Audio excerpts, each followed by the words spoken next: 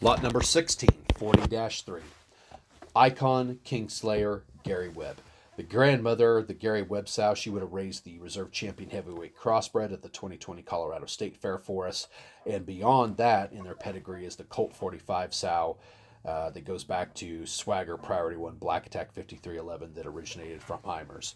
The reason I go into all that detail is there are really good, high quality pigs all through this, or sow line throughout this entire pedigree.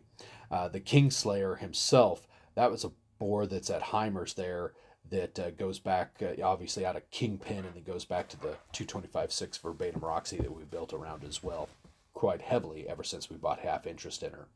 And then with Icon on the top side, that's just an extra shot of next intention.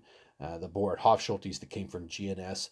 And when they look like this stout rig here, we're going to continue to breed to Icon pretty heavily. Big form, big feet and legs, round body shape. Uh, this one's a little shorter and boxier than his brother we just previously talked about in the uh, the lot before but 40-3 here is very very high on my list as a high quality candidate that can be ready anytime in December through early February